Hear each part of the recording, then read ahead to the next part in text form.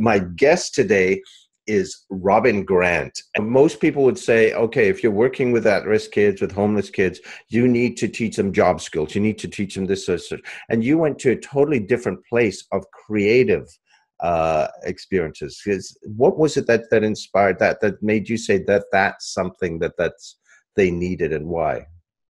Because it goes back to the self as being the um, being the source of this. It's not like you need these tools. It's like you have all the tools and you can create them yourself. So we would take there would always be products from these workshops. So there'd be a play or there'd be a newspaper, there'd be creative writing anthologies or art. And they we had Christmas art cards that were beautiful. Um, and then you get a certain um, commission of the sales based on, you know, if they were, we didn't sell the, the the Bummer Troop things, but we made money off it. It was a nonprofit, so we made sure that once the expenses were covered, they made money off it. So they would be motivated to create themselves. But again, it all came, it showed that they mattered. Mm-hmm. It wasn't about you have to take the system um, and what we tell you you need.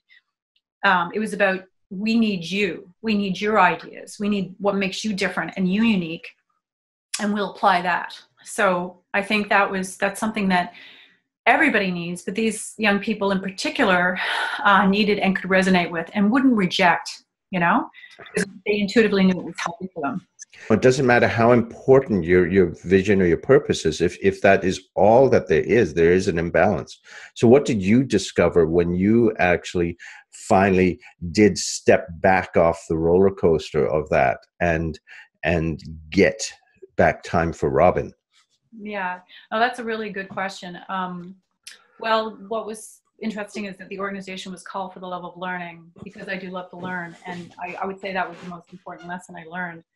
Um, you know, I was raised Catholic, and I always thought, you know, I had this idea of what a good person was, and I wanted to be a good person, and of course I was, and always have been. Um, I really thought it had to do with self-sacrifice. Um, and um, selflessness. And um, I had to really run the, um, really take it to its very, the end of the path, as far as it could go, to realize that that was actually, there's a major, major um, fault to that sort of logic. So essentially, I think that um, that really to serve the world best and to um, to be the most productive and to help those that you love, those around you, and just anybody is to really help yourself.